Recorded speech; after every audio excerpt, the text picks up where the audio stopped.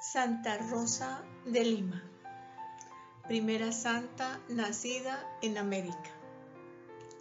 Isabel Flores de Oliva nace en la Lima colonial en 1586 y era tan hermosa que le ponen el sobrenombre de Rosa. Sus padres se esfuerzan por educarla en la fe. Amante de la soledad, se inclina a la contemplación pero testigo de las necesidades de los que le rodean, entra como terciaria en la orden de predicadores. Vive la compasión con aquellos que le rodean en un servicio alegre y generoso.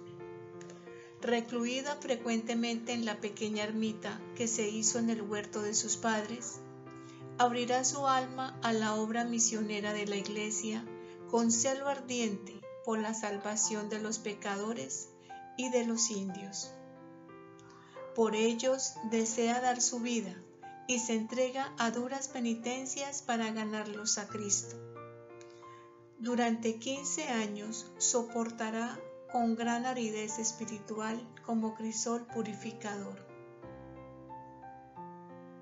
Santa Rosa de Lima arde en amor por Jesús en la Eucaristía y en honda piedad para con su madre, la Virgen María, cuyo rosario propaga con infatigable celo, estimando que todo cristiano debe predicarlo con la palabra y tenerlo grabado en el corazón.